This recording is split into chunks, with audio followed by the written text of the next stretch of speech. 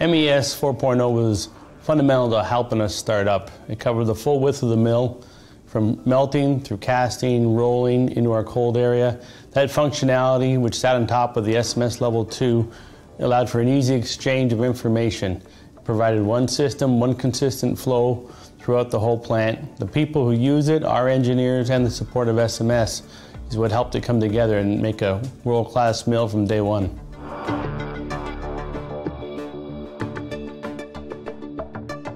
Digitalization is key to what we do. From working in the cloud to all our automation systems, we know this will be the difference between us and other mills. We've fully embraced it, we will support it, and continue to grow and lead the industry to be the best steel mill in the world.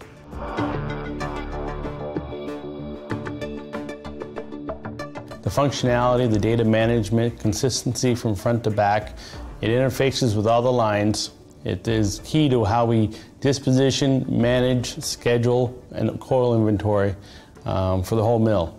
Without it, the mill would not work. So with that MES 4.0, we're going to continue to develop as we do our other phase expansions. It's a tool we choose to use to help Big River expand and be the best steel mill in the world.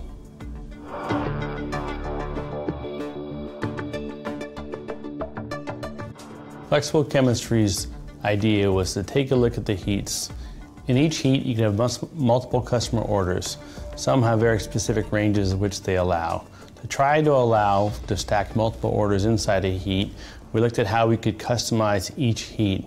Even though they all are the same grade, they may have different set points within each of those grades. Flexible chemistry lets us do that by adjusting it based on the setup and the schedule and looking at the chemistries within it.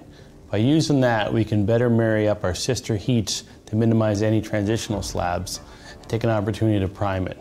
This is already great, great benefits for Big River as our transitional rate is approximately half of what we saw historically in other places we've worked.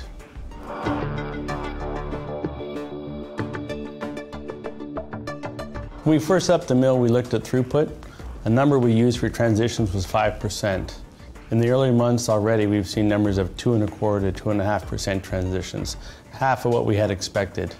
Using a number of approximately $250 per ton, very quickly we can scale it up and see there's approximately $20 million a year in savings from using this new technology.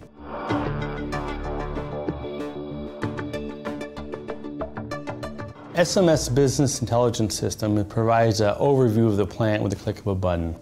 Our managers and operations people can quickly go to it and see the health of the plant, look at prime, non-prime, break down each of the grades and understand opportunities to improve.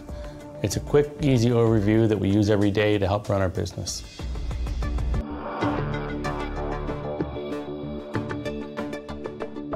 Early on, we developed a good working relationship with SMS, especially the level three teams.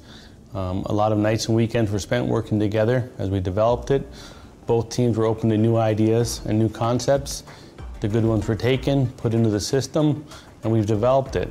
it. We now have more functionality to customize orders and look at costing than we've ever had before.